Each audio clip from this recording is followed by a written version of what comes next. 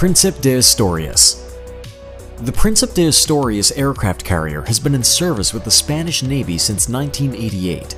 The ship supports up to 12 AV-8B Harrier II Plus and Harrier II aircraft. It also has facilities to support up to 12 helicopters, usually 6 Sikorsky Sea King SH-3H, 4 Agusta AB-212, and 2 Sikorsky SH-3 AEW helicopters.